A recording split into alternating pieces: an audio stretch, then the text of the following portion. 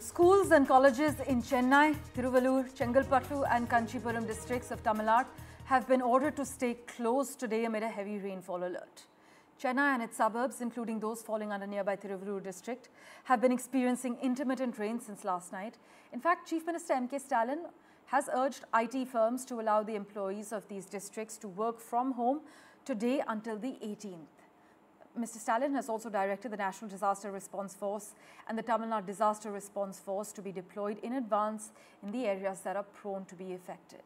My colleague Sam Daniel is tracking the latest for us on Ground Zero. Listen in.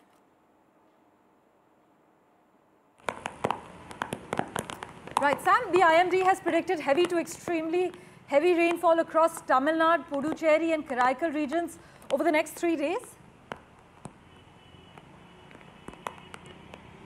Well, it's an orange alert for tomorrow, very heavy rainfall, and uh, for today and for tomorrow it's going to be a red alert, extremely heavy rainfall in Chennai and adjoining districts and several parts of Tamil Nadu. We come to you from the Tansi Nagar, a very chronic hotspot known for inundation, and authorities have already deployed boats here to make sure if the water levels go up, if there is heavy inundation, they will be able to rescue people quickly. Last year in December, we witnessed neck deep waters in this area. The roads are inundation free. If you can see on my left side, the traffic is normal, but authorities are not taking any chances this time. And in fact, the residential area this side is in a very low lying area, and every time there is heavy rainfall, there will be inundation, waters entering homes. But this time, so far, that kind of situation has not happened because there is enough gap after every spell of uh, downpour. In terms of the total rainfall received so far, till 5.30 this morning, the Met Office says 59 millimeters rain. That's very little less than heavy rainfall, but with so much of downpour since morning, this would have crossed 6 centimeters.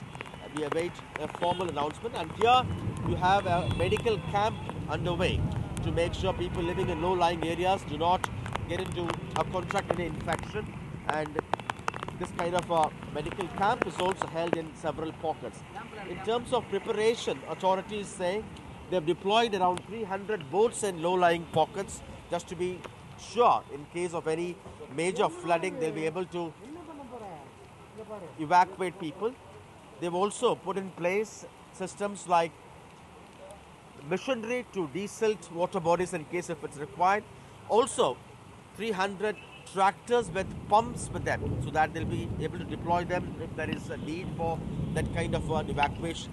The big worry is authorities say Chennai and pockets of Tamil Nadu could receive up to 40 centimeters rain today and tomorrow and on a single day the rainfall could touch 20 centimeters.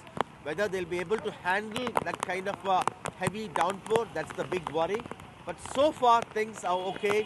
No major in any of these low-lying pockets.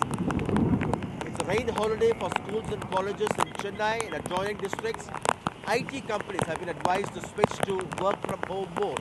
It's beginning to pour very heavily and Chief Minister M.K. Stalin has advised people to factor in this kind of an extremely heavy rainfall possibility and to make arrangements in terms of taking care of the elderly, expectant mothers and those who are sick at home. Metro rail service has more frequency today so that those who are stranded will be able to move faster.